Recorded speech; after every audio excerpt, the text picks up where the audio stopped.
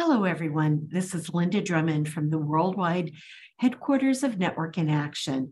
And today I'm honored to be speaking with Greg Micek. Hello, Greg. Hello, Linda. How are you? I'm doing great. Thank you. And you? I'm doing great. Fabulous. So, Greg, how about telling us the name of your company and what exactly you do? Okay, the name of our it's a nonprofit, it's a 501c3 called the Young Inventors Association of America. We teach teachers how to teach kids how to invent. The kids then invent, and then we judge. And we have preliminary competitions and finals in May, and we're in our 35th year. Wow, that is amazing. Mm-hmm. How did how did you get started with this nonprofit?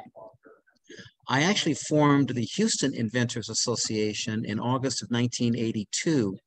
Um, and um, I'm sorry, November of 1983.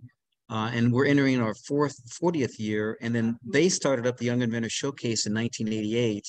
And then I adopted it uh, subsequently, and I've been running it ever since.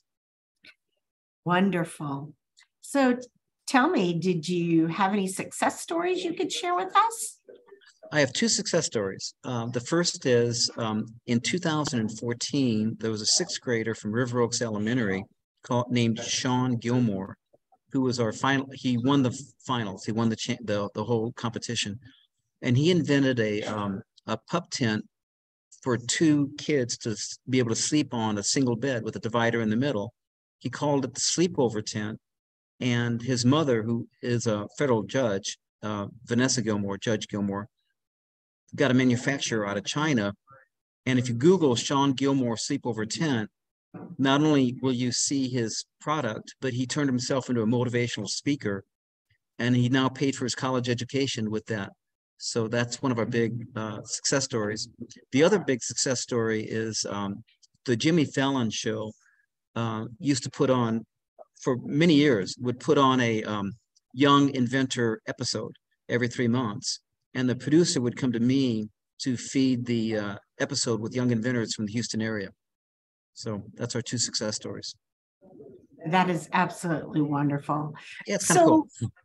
Greg, what are you looking for in the way of, I guess, referrals that can help you out? I'm looking for introductions to STEM teachers um, all over the region to adopt the Young Inventor Showcase in their schools. Either either as an either as an in-school curriculum. We have an eight-week course that has just been adopted globally by innovationworld.org. So we're going global with our eight-week course. So in-school curriculum, an after-school club, or a summer camp invention, three ways it can go into the school.